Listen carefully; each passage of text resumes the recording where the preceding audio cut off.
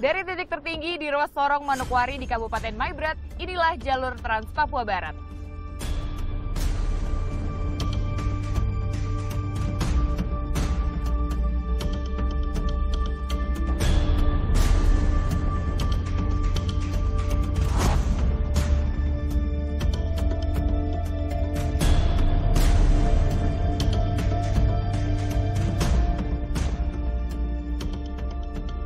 Trans Papua kini hadir memecah keterisolasian masyarakat.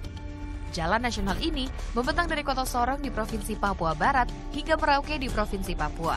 Panjangnya mencapai 4.330 km.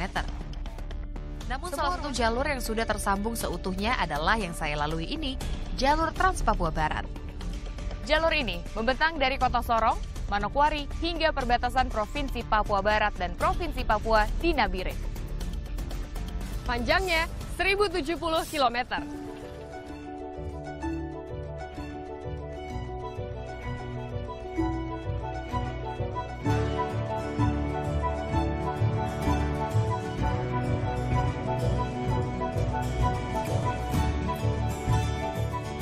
Jalan Trans Papua hadir menjawab ketersambungan wilayah di bumi cendrawasih. Jalan menghubungkan daerah-daerah terisolir di kedua provinsi, serta memangkas jalur distribusi yang selama ini menyebabkan mahalnya harga pangan. Pembangunan ini juga menjadi sarana vital untuk menunjang roda perekonomian masyarakat Papua. Transaksi jual beli makanan juga semakin mudah. Pembangunan infrastruktur ini digenjot dari tahun 2015 hingga sekarang. Program ini menjadi salah satu agenda prioritas pemerintahan Presiden Joko Widodo. Jalur yang membelah gunung dan menembus hutan ini membuka akses dan menambah manfaat bagi masyarakat. Manfaat itu dirasakan masyarakat di Kampung Lamono, Kabupaten Sorong, Papua Barat.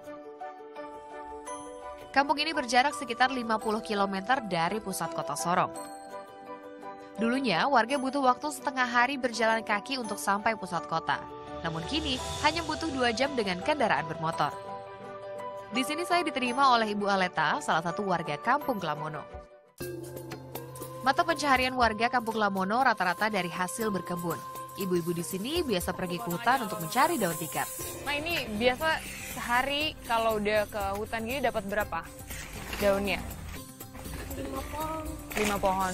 Lima pohon itu bisa dapat berapa nanti jadi tikarnya? satu tikar Satu tikar aja lima Iya. pohon. Berarti Iya. sebanyak ini nanti cuma Iya, satu. lima pohon karena ini mah kasih bersih terus lipat lagi kasih Ah. gabung dua baru semuanya Oh, berapa lama dari sejak nebang sampai jadi berapa lama? itu mungkin sekitar tiga hari ya kalau lebih cepat itu pasti dua hari Dua hari. Lumayan sih ya, lumayan Iya. cepat.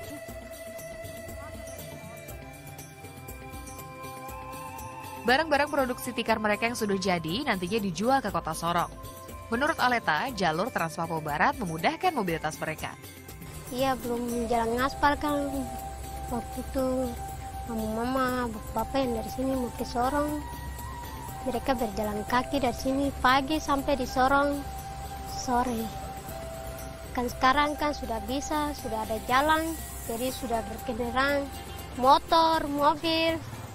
Jadi mereka dari sini sampai di sana sudah sam- tidak sampai dua jam satu jam sudah sampai di Sorong jadi mereka sudah bisa merasakan sudah yang sejahtera untuk masyarakat.